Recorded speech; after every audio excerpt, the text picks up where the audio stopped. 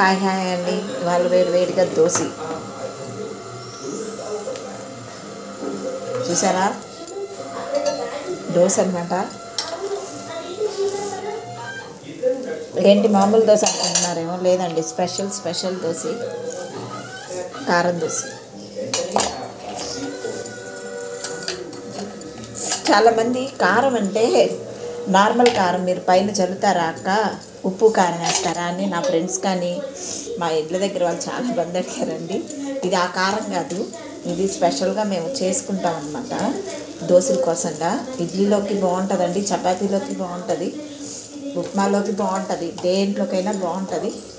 Bus దీని taste తెలియాలి అని అంటే మాత్రం ఖచ్చితంగా నెల్లూరు వాళ్ళకి అయితే మాత్రం బాగా తెలుస్తుంది.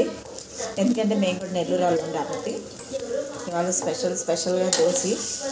సండే మాత్రం డే స్టార్ట్ అయ్యేది మాత్రం దోశ చికెన్ సూప్ అండి. దోశ ఇటువంటి చికెన్ సూప్ రెడీ అయిపోతుంది. దోశ చికెన్ సూప్తో డే స్టార్ట్ అవ్వాలి. లేకపోతే మనకి సండేలా అయితే ఉండదండి అసలు.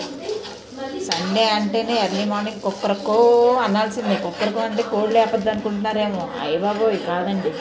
కుక్కరకంటే కోల్డ్ మనం తీయాల్సిందే. అది. ఓకేనా? Okay friends have a nice day. చూడండి ఎలా వచ్చింది కారం దోశ. స్మెల్ అయితే అదిరిపోతుంది. ఇలా తిప్పాను. ఇలా దోశ తిప్పుకున్న తర్వాత సరిపోద్ది. దీని మీద ఎగ్ వేసుకున్న బాగుంటుందండి. ఎగ్ దోశ కూడా వేసుకోవచ్చు ఇలాగా. ఇలా కారం దోశ అయితే వేసుకోవచ్చు. ఇలా తిప్పేసి ఇలా ఫోల్డ్ చేసేసి ఇలా రోస్ట్ చేసేసి నెక్స్ట్ మన ప్లేట్లోకి సర్వ్ చేసేసుకోవడమే. రెడీ అయిపోయింది చూసారా? ఓకేనా? నెక్స్ట్ ఇంకొకటి. అలా మనం ఎంత పల్చ వేసుకుంటే అలా నీట్గా హోటల్లో లాగా వస్తాయండి దోశలు అయితే మాత్రం. అది మనం తిప్పే దాన్ని బట్టి ఉంటుంది. నా దోశలు అయితే రవ్వ దోశలా ఉంటాయి అంటారు అందరూ. మరి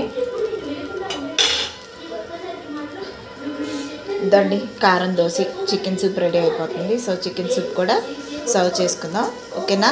Have a nice breakfast. Bye.